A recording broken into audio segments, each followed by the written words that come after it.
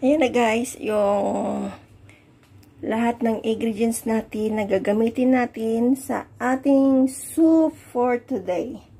Yan na yung lahat. Ito ay cordyceps, sweet dates, uh, wolfberry, dried mushroom, na blanch ko ng pork, pork meat, and then yung uh, redates, and then yung silk corn, and then yung corn. Yan ang gagamitin nating soup for today. Just keep on watching guys, and then papakita ko na kung paano mag-soup. Kaya, just keep on watching! Yan guys, hello! Welcome back to my channel again sa Buhay Kusina. Ngayon, episode ay ipapakita ko sa inyo kung paano mag-soup ng corn and corn silk soup na Chinese style. Yan. So, ito guys, yung aking gagamitin.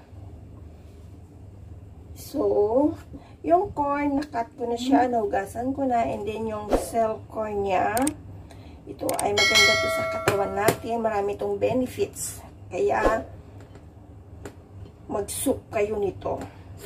And then, yung pork ko na blanch na, na ano na siya ng mainit na tubig, yung dates ko, nahiwa ko na din.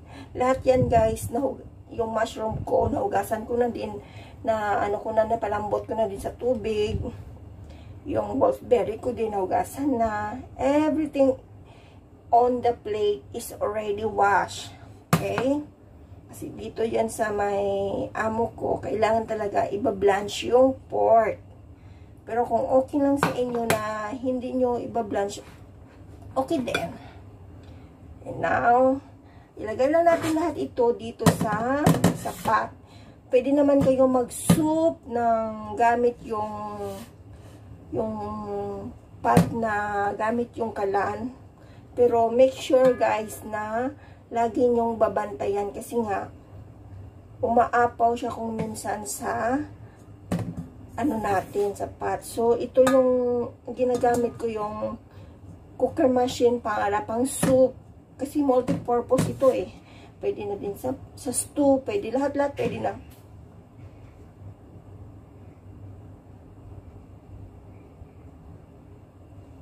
Kaya, mag, ano na tayo. Lagay na natin natin ito sa ating loob. Yan.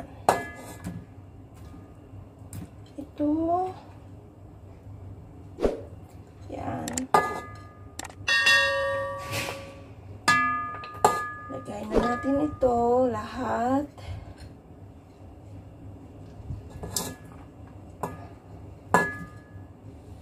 The same procedure pa rin guys. Ano yung ginagamit ko kung kalan, pwede din yung kalan yung, kaya lang babantayan yung siya guys. Okay? Yan. Yan na guys. Lahat ng ingredients na dito na. And then, lalagay na lang tayo ng tubig. Tubig guys.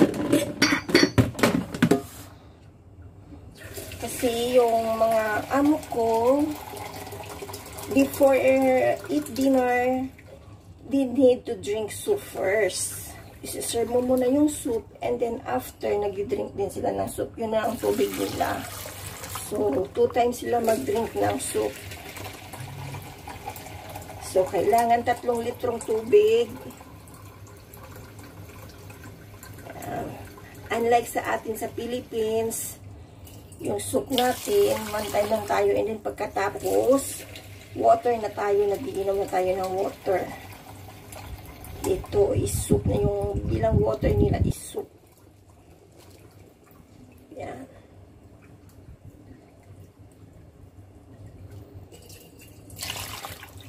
Yan, tatlong litro na siya. Madagdag lang ako ng kaunti kasi nga baka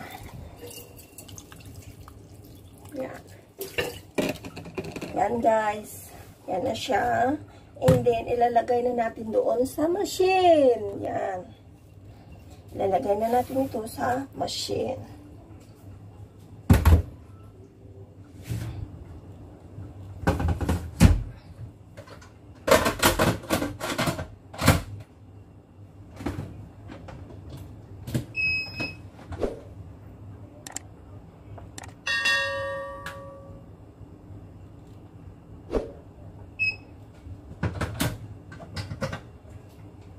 Ayan guys, babalikan natin yan after one and half hour.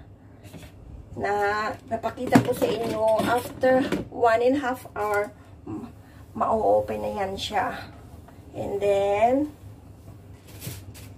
ready to serve. Okay. Okay, we go back after after one and a half hours.